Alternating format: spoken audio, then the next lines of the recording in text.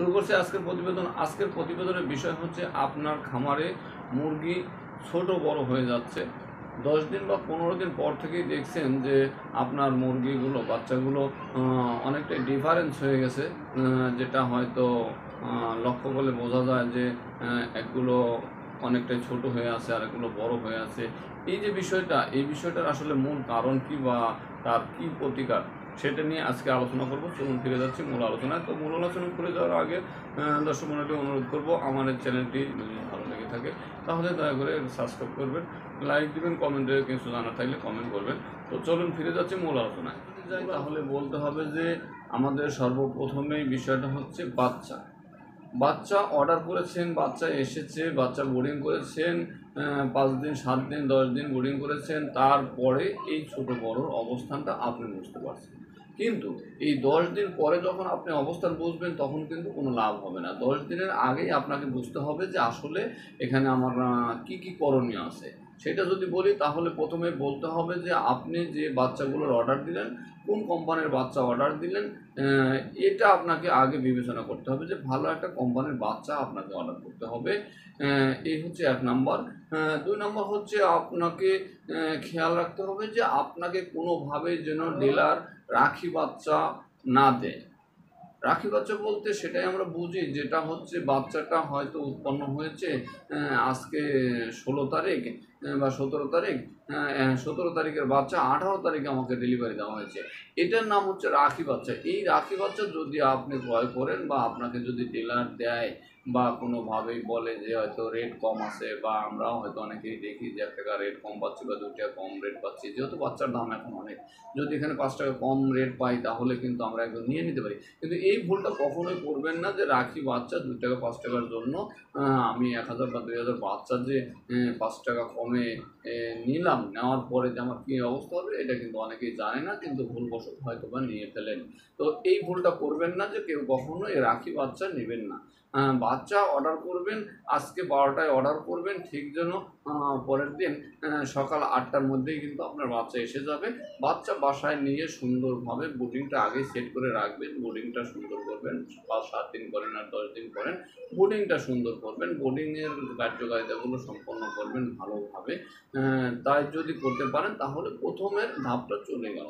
এখন বিষয় হচ্ছে এই দশ দিন বা বারো দিনের পর থেকে যে সমস্যাগুলো দেখা দেবে, সেটা হচ্ছে আপনার আগে ভাবতে হবে যে আপনি যেই সেক্টরে বা আপনি যেই খামারে বা যেই সেটে আপনার মুরগি উঠিয়েছেন, সেই খামারটার আয়তন কত এবং আপনার মুরগি কত? এটা আপনাকে ভাবতে হবে। আপনি বুডিং করার পর মুরগি ছেড়ে দিলেন। এখন সেই মুরগিটা ছেড়ে যে দিলেন, এখন এই মুরগি ছেড়ে দেওয়ার জায়গাটা কতটুকু? আপনি দুই হাজার মুরগি নিয়েছেন, দুই হাজার স্কোয়ার ফিট জায়গা লাগবে। এখন আপনি যদি প্রথম দিনে দুই হাজার স্কোয়ার ফিট জায়গাতে যদি মুরগি ছেড়ে দেন বা এক হাজার স্কোয়ার ফিটে মুরগি ছেড়ে দেন, তাহলে একটা বড় ভুল। তো এই ধরনের ভুল কিছুটা করবেন না, যেটা এই ধরনের ভুল করলে কিন্তু মুরগি ছোট বড় হওয়ার কারণটা এখানেও একটা নিয়ত রয়েছে। যেমন আপনি যখন অনেক জায়গা পেল, তখন আসলে কে কোথায় থাকবে আর কোথায় যাবে আর কোথায় খাবে দিক বেদিক হারিয়ে ফেলবে। যার কারণে কিন্তু কিছু মুরগি ভালো খাবার পাবে, কিছু মুরগি খাবার পাবে না। যার কারণেই কিন্তু ছোট বড় হয়ে যাচ্ছে। আর তারপরে যদি বলি, তাহলে বলতে হবে যে আপনাকে খাবার পাত্র এবং পানির পাত্র। খাবার পাত্র এবং পানির পাত্র নির্দিষ্ট স্থানে প্রতিদিনই রাখতে হবে। এটা কিন্তু কোনোভাবেই সরানো লড়ানো যাবে না যে এখানে জায়গা ভিজে গেছে, আরেক জায়গাতে দিই, এখানে জায়গা ভিজে গেছে দুয়ান ছড়ায় দিই। এটা করবেন না। আপনি জায়গা ভিজে গেলে সেখানে আপনি আপনার ঘুণ বা তুষ সেটা নতুন করে দিতে হবে। কিন্তু কোনোভাবে খাবার পাত্রের জায়গা চেঞ্জ করা যাবে না, পানির পাত্রের জায়গা চেঞ্জ করা যাবে না। কেননা যখন আপনি খাবার পাত্র পানির পাত্রের জায়গা চেঞ্জ করছেন, যখন আপনি খাবার পাত্র বা পানির পাত্রের জায়গা চেঞ্জ করছেন ঠিক তখনই কিন্তু সমস্যাটা দাঁড়াবে। কেননা দশটা বা বিশটা মুরগি একটা পাত্রে খেয়ে অভ্যস্ত হয়ে গেছে একটা জায়গায়, যখন আপনি ওই পাত্রটা ওখান থেকে সরিয়ে দিলেন, তখন কিন্তু তারা অতটা ওইভাবে পরের জায়গাটা, পরের খাদ্যের পাত্রটা কোথায় আছে, এটা তারা বুঝতে পারবে না। যার কারণে কিন্তু একদিন, আপনারা জানেন যে ব্রয়লার মুরগির বাচ্চা, বিশেষ করে ব্রয়লার মুরগি কিন্তু একদিন যদি আপনার খাবার কম বেশি হয়ে থাকে, তাহলে কিন্তু অনেকটাই ব্যাঘাত ঘটবে এবং যদি একদিন যারা খাবে আর যারা খাবে না, এদের মধ্যে তফাৎ হয়ে যাবে। একদিনের তফাৎ হলে এই তফাৎটা পুরোটা মাস আপনাকে বহন করতে হবে এটা মাথায় রাখতে হবে। তো এইটা একটা কারণ যে আসলে খাবার পাত্রগুলো কোনোভাবে সরানো লড়ানো যাবে না। খাবার পাত্রগুলো নির্দিষ্ট স্থানে থাকতে হবে অবশ্যই এবং সঠিক পরিমাপে সঠিক সময়ে খাবার দিতে হবে। লাগাতার খাবার না দিলেও হবে। আহ, হয়তো বা সময় নিরপেক্ষণ করে একদম জাস্ট টাইম টু টাইম খাবারটা পরিবেশন করবেন। হয়তো এক ঘণ্টা খাবার নেই, সমস্যা নেই। কিন্তু যখন টাইম হবে টাইমে যেন খাবারটা দেন এবং টাইমে যেন স্বতঃস্ফূর্তভাবে সব মুরগি একসাথে খাবার খাওয়া শুরু করে, এটা আপনাকে খেয়াল করতে হবে। দ্বিতীয়ত হচ্ছে এখন যে একটা বৈরী আবহাওয়া খারাই গরম খারাই বৃষ্টি এইরকম একটা আবহাওয়ার মধ্যে কিন্তু মুরগি দেখা যাচ্ছে বৃষ্টি আসলো সাইডে গিয়ে, একদম আপনার শেডের এক সাইডে গিয়ে চুপ করে বসে আছে। এই যে একদল মুরগি বসে আছে, এটা যদি লাড়া না দেন, যদি তাড়িয়ে না দেন। তাহলে কিন্তু ওরা খেলো না প্লাস যারা বাতির আশেপাশে আছে বা যারা আপনার সূর্যের আলোর আশেপাশে আছে, তারা কিন্তু অলরেডি দেখা যাবে যে খাবারগুলো খাচ্ছে। এই যে খাবারগুলো খাচ্ছে আর যারা বসে আছে, এদের মধ্যে একটা তারতম্য তৈরি হবে। এই বিষয়গুলো আপনাকে মাথায় রাখতে হবে, তাহলে সম্ভব মাত্র যে সবগুলো মুরগি একসাথে বড় হবে বা এক সমান হওয়া। তবে একটা জিনিস তারতম্য থাকবেই, যেটা কোনোভাবে কিছুই করার নেই, সেটা হচ্ছে আপনি জানেন যে মোরগ এবং মুরগি। এই যে মোরগ এবং মুরগির বাচ্চা এটা হয়তো কেউ আলাদা করে দেয় না। কিন্তু যদি জানেন যে মোরগের বাচ্চাগুলো অবশ্যই একটু বৃদ্ধি বেশি পাবে এবং মুরগির বাচ্চাগুলো অবশ্যই একটু কম বৃদ্ধি পাবে। এটা সবারই জানা আছে। তো তারপরেও আমি বলব যে অবশ্যই এই বিষয়ে যে যে বিষয়গুলো বললাম, এই বিষয়গুলো যদি আপনি মাথায় রেখে কাজ করতে পারেন, তাহলে অবশ্যই মুরগি কিন্তু অতটা কম বেশি হবে না।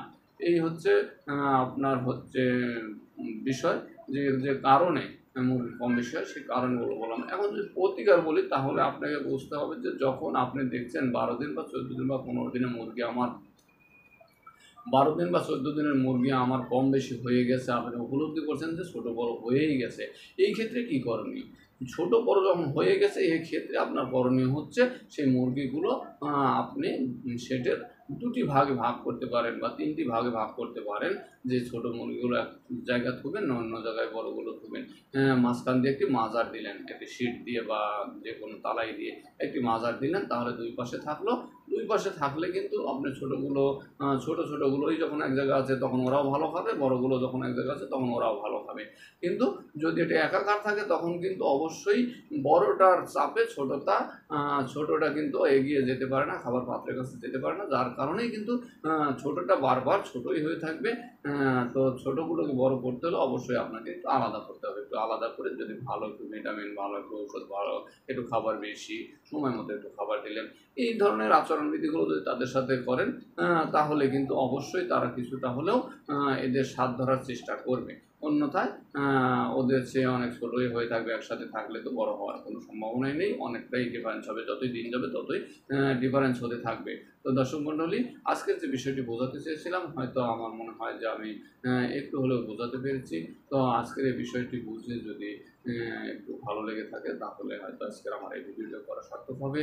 তো দর্শক মণ্ডলী, আর বেশি কথা বলব না। আজকের মতো কথা এখানে শেষ করছি। আসসালামু আলাইকুম।